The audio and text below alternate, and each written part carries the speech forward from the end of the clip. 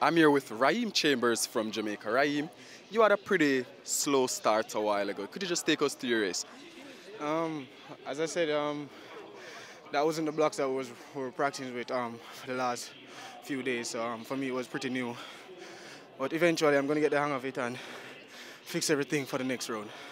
Of course, the time 10.45 in the first round. Are you pleased with this performance? Uh, it's the first round. Um, aim was just to come out here and qualify, and that's all I did.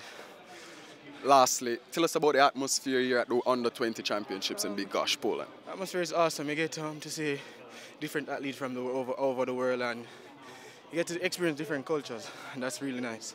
All right, thank you, Raheem, and all the best.